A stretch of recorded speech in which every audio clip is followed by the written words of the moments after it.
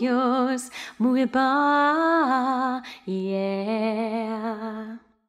One happy birthday dot com.